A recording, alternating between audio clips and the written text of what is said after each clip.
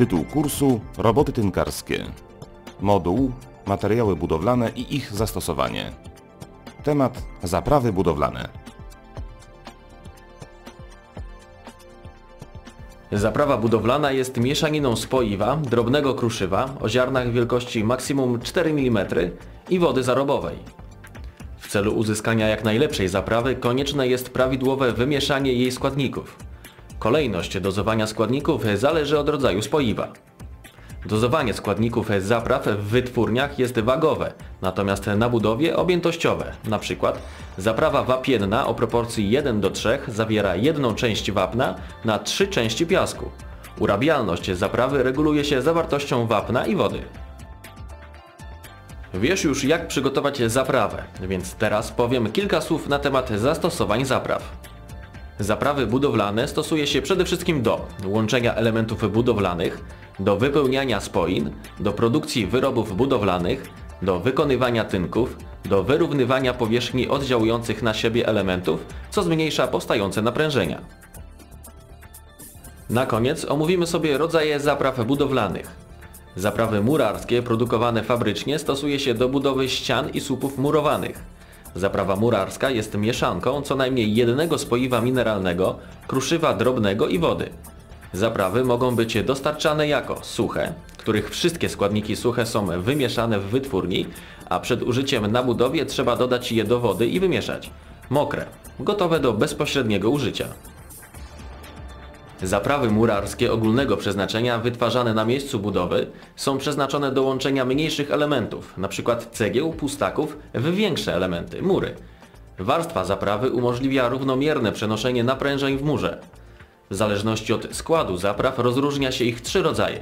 Cementową C, która oprócz wody zawiera cement plus piasek, cementowo-wapienną CW, która oprócz wody zawiera cement plus wapno plus piasek, wapienną W, która oprócz wody zawiera wapno plus piasek.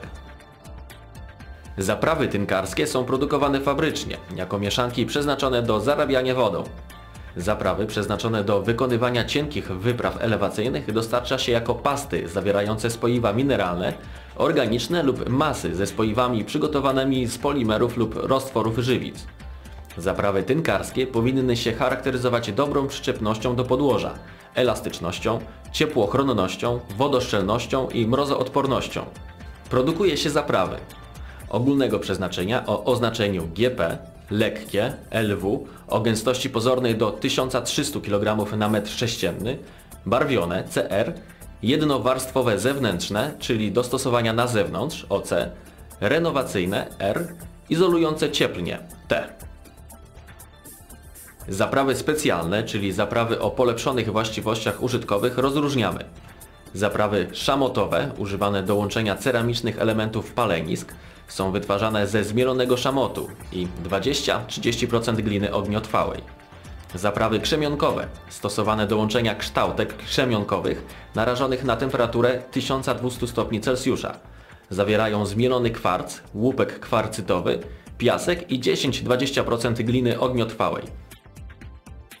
Zaprawy ciepłochronne, stosowane do murowania ścian osłonowych lub ścian nośnych w budynkach o wysokości maksymalnej do dwóch kondygnacji, wyrabiane z cementów portlandzkich powszechnego użytku, wapna hydratyzowanego, popiołu lotnego, pyłu ze szlifowania płyt pilśniowych twardych, mączki gazobetonowej i glikocelu.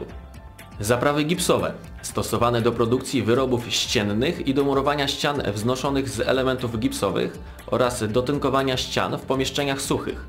Wykonuje się je z gipsu do bezpośredniego stosowania na budowie zmieszanego z wypełniaczem, np. piaskiem i wodą. Zaprawy do spojnowania płytek okładzinowych, stosowane do spojnowania płytek podłogowych i ściennych wewnętrznych i zewnętrznych wykonanych z ceramiki, kamienia i zapraw cementowych.